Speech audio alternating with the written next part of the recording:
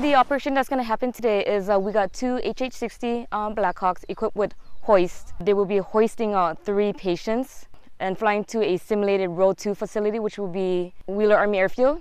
So the importance of this training, especially stateside for us, is to um, be able to react in the event of a DSCA mission, um, natural disaster, for example, going to Kauai or Molokai to support, um, you know, natural disasters. So pretty much the hoist, we would utilize the hoist in a, in a confined LZ, maybe a lost hiker, for example, on a mountain, um, you know, on a ridge line. We'd be able to get up there and hoist them out of that particular situation.